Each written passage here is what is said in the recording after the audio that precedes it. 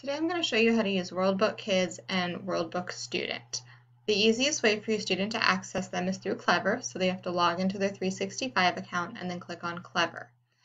Um, once they are logged in, they can click on WorldBook Kids. It's going to be the one with the balloon on it. This is a database that will allow them to search for a wide variety of topics.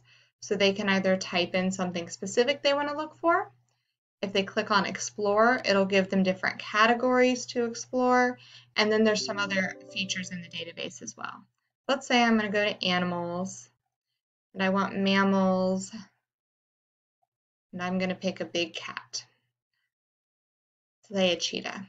When I click on it, it'll give you an article about the topic. This speaker right here will read it to you. Cheetah is a large wild cat and it'll go all the way through the article. Some of them will have videos in them, not all of them will, but some will. All you have to do is click right on it and then click the play. cheetah is a large, long-legged cat. Another nice feature about World Book Kids is if you come up in the corner and click on the gear, it gives you the option to translate this text, and you can translate it into any of these languages. Now, it won't read to you in all of the languages, but it will in some. For example, if I click on Pashto and then click on Go, it might take a minute and then it'll open up. You can see in Pashto there's no speaker over here, so it can't read you in Pashto, but you can read it. If I go down here all the way to the bottom, you can see there's some other options. World Book Student will take you to the same article in World Book Student, which is a database for a little bit older kids. So the articles are going to be a little bit more advanced. You can see cheetah up here and I click on read more. You can see it'll have more detail. It'll have a little bit bigger words. This is better for our fifth graders as they move into middle school. I can go back and back.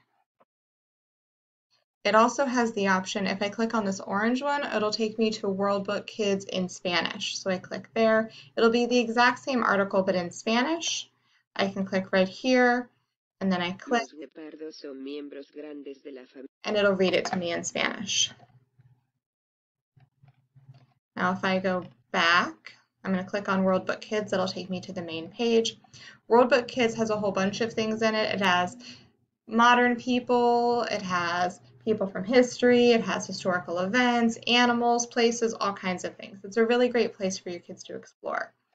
Some other nice features are World of Animals, if I go to compare all animals, I can choose two animals to compare side by side. Let's say I want to compare an ant.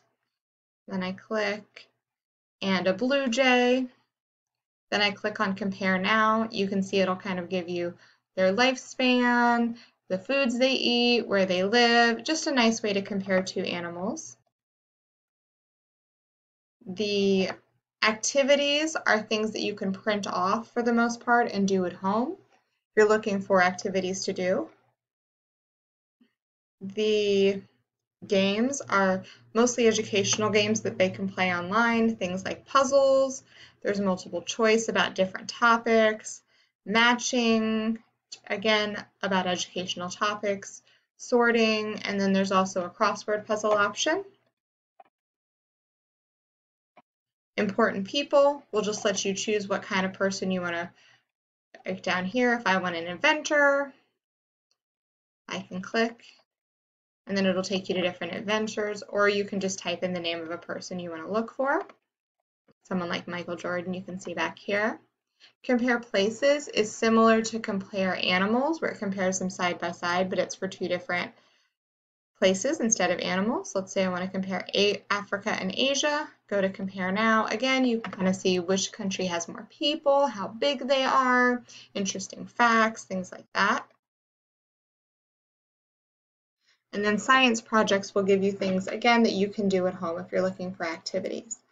We use this database a lot when the kids are doing research for school, so it's a good one for them to use at home as well.